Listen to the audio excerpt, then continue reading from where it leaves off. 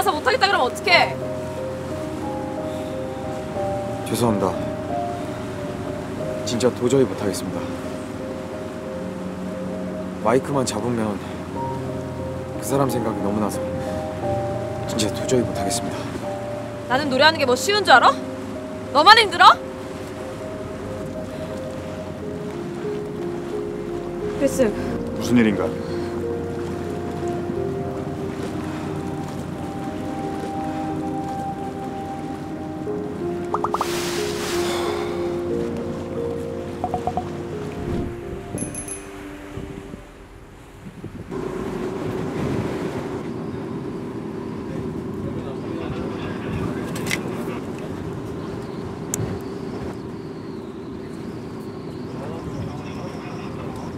견시보고 우연 견시보고 선박 한 척, 방위 30 거리 2천, 자연에서 우연으로 이동 중.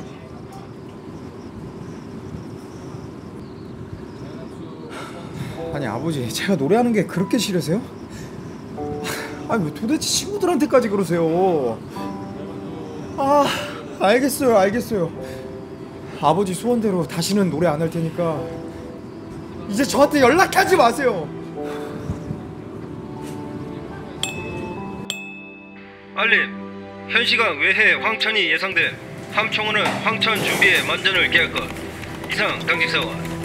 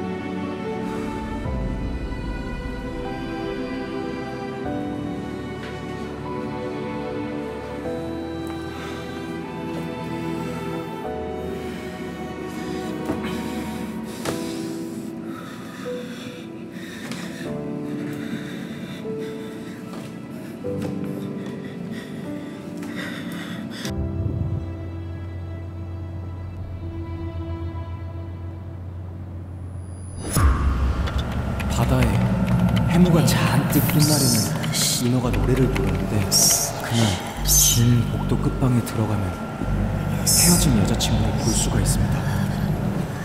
그런데 수경이 잘못을 저질러 여자친구랑 헤어졌으면 어김없이 처녀 귀신이 나타난다고 합니다. 그래서 우리는 먼저 바람을 피운 수병들에게 그 방에 절대 들어가지 말라고 합니다. 자사 강파 사관님, 어, 여기서 뭐 하십니까? 그냥 지나가던 길이었는데 어, 갑자기 튀어나오시면.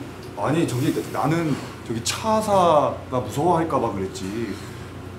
아 저기 차사 여기 귀신 나오는 방인 거 알지? 아니, 지금 세상에 그런 게 어디 있습니까? 선임병들이 후임병들 놀리라고 다 지어. 아, 아니 다, 다 알지 그럼 근데 뭘 그, 그, 아니 차사 차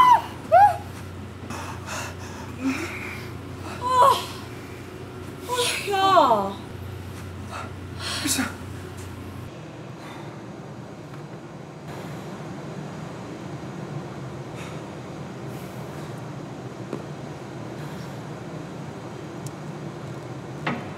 거긴 왜 있었는데? 거기 사람들이 잘 안 옵니다. 무섭다고. 그래서 진짜 노래 안 하겠다고 그동안 쓴 악볼 다 찢은 거야?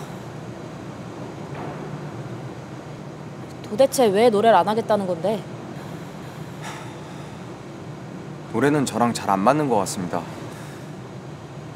여자친구가 처음 버스킹 하는 날 다른 밴드 멤버랑 바람나서 헤어졌습니다.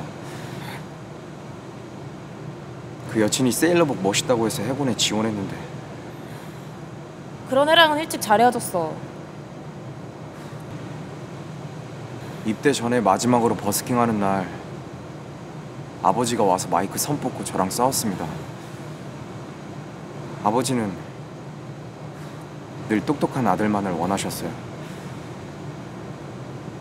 가수로서 성공해서 좋은 모습 보여드리고 싶었는데 머리 깎기 전에 가수가 되기 전에는 무대에 오르지 않겠다고 다짐했습니다.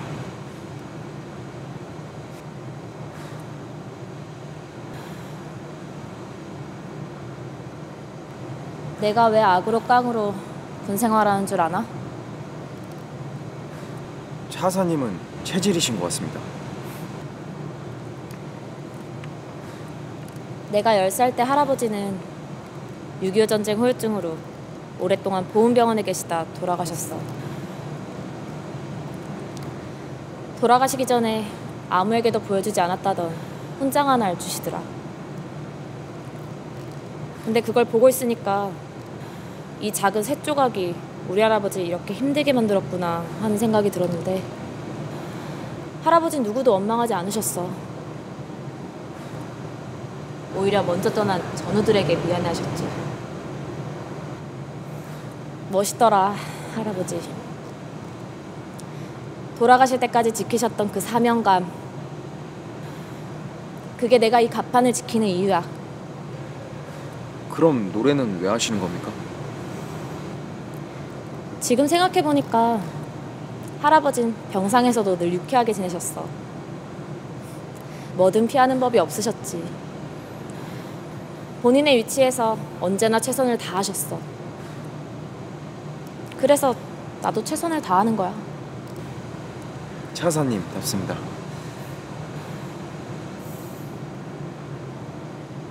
야 김일병, 네? 너 노래할 때 멋있어. 훈련 중에 어리버리할 때랑은 눈빛부터 달라. 그 눈빛 말고.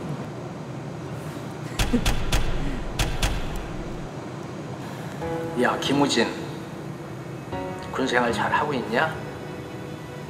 너 군대 갈 때 전화 한 통도 없이 가서 아버지는 얼마나 섭섭하고 미안했는지 모른다.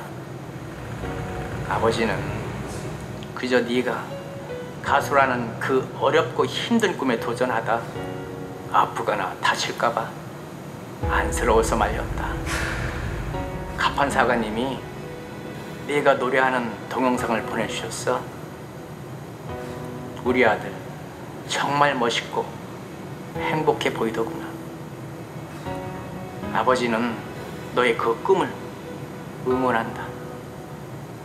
남은 군 생활 아프지 말고 건강하게 생활하다 제대하길 바란다. 아들 사랑한다.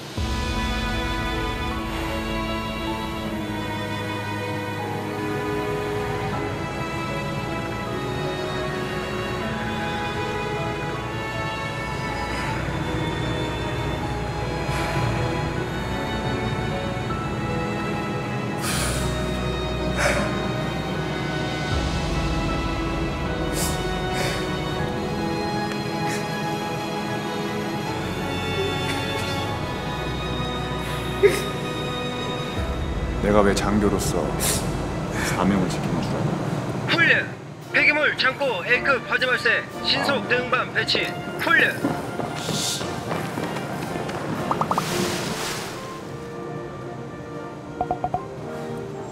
감사합니다, 차사님. 아직 감사받긴 이른데. 그래도 이 말은 끝나기 전에 해야 되는 게 맞는 것 같습니다. 수고했다. 유쾌하고 즐겁고 우리끼리 뭔가 모르게 끈끈한 의리 같은 게 있어서 좋습니다.